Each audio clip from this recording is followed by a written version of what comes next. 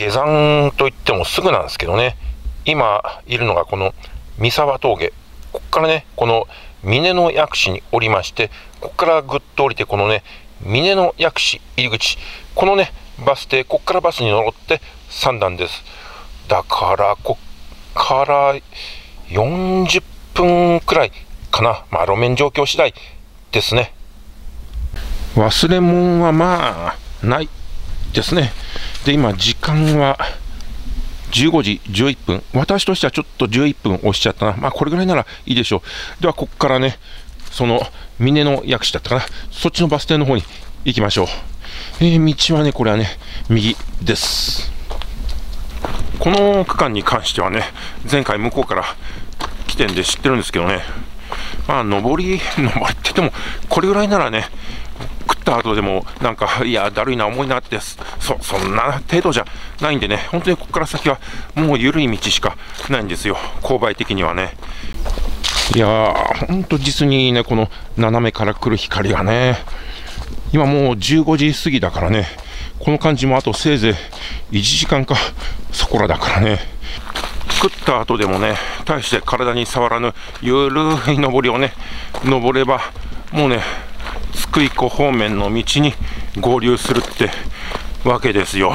ね、もう上りはこれだけですから、もう上りって、上りって言えんかな大したもんじゃなかったですね。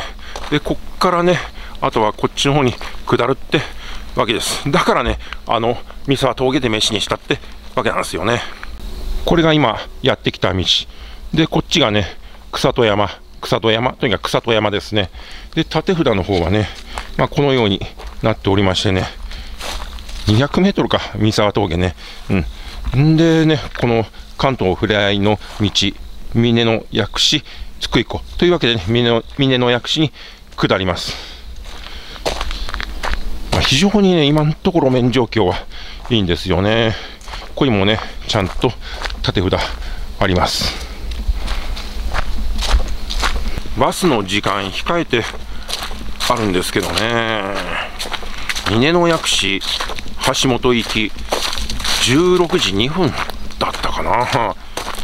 だからね、このままちょうどバス停に着いたらバスが来るか、あるいは行っちゃった直後があって、その後17時何十分だもんな。つれえなっていうのがな。まあ、とにかく行ってみるしかないですよ。ま、まだまだね、最終バスには全然17時の痩せも間に合うんでね。いやいやいや、こりゃすげえや。ねえー、完全にこれはね、うん、電話とかそういった類のもんですね。まあ、山の上っていうのはこういうのありがちですよ。ここも電波塔か。で、峰の薬師から下る道っていうのは、なんかちょっとした山道風の参道って話なんですよね。うん、こう、今合ってますね。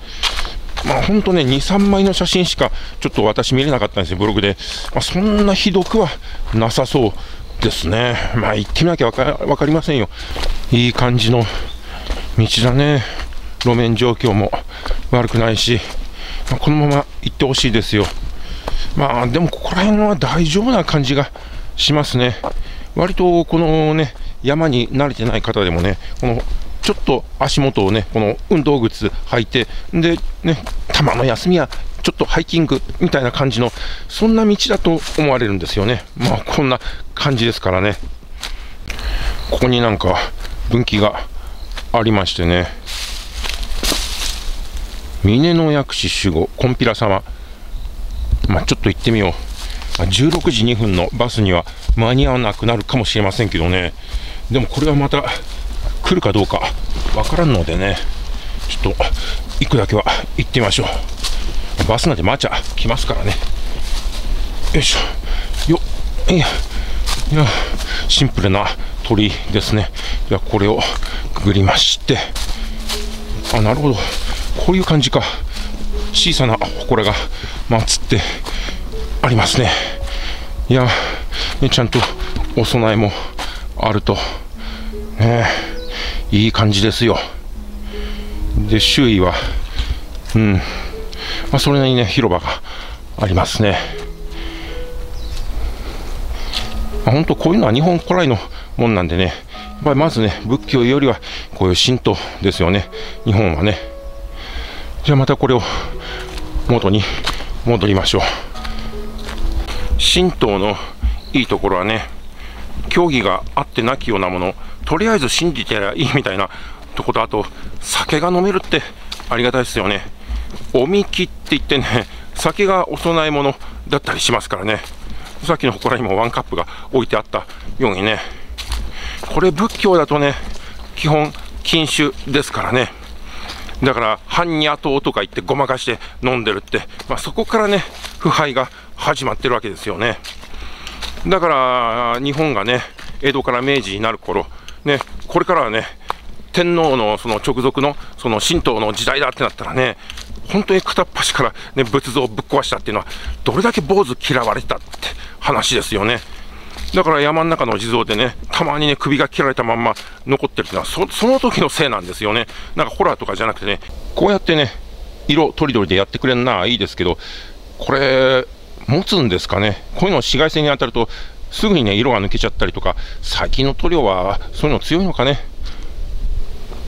完全に山道ですな、こちらね。うん。まあでも今まで歩いてきた道からすれば、まあ、こんなもんでしょってとこですよ。もうベンチもある。素晴らしい。今のところ本当に全然この何の問題もなく、これちょっとね、うん、ちょっと今日は裏山にお散歩行こうかみたいな感じで来れる、まあ、そんな感じですね、今のところは。正面に人工物、鉄の柵ですね。うん、でも、あ、でも脇から行けるか。これはどういう意味だ？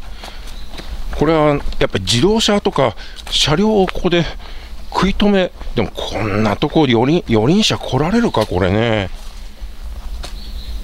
やっぱり二輪かね、なんかモトクロスバイクとか、そういうのを止めるんですかね。あありえますね。だからこういうところだとね、うん、なんかそういうふうにブンブンブンってね、そのオフロードバイクで、ね、やっぱりそういうのを走りたがるって人もなくはないかもしれませんけどね、なんて言ったら、そ、こまでなんか車来れる感じなんだ。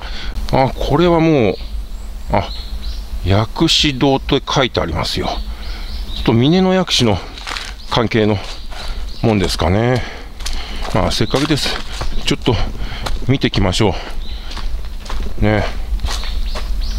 峰の薬師奥の院、まあ、シャッター閉まってんで入れないですけれど、まあ私の趣味からいくと、ちょっとね、こういうので鉄筋のっていうのはなんか味気ねえなってね、やっぱ木で作ってって、まあ木で作ってあればあったでね、維持管理が大変で、それこそね、配管料とかそういうの取らなきゃやってらんないなんて、そんな話になりますからね。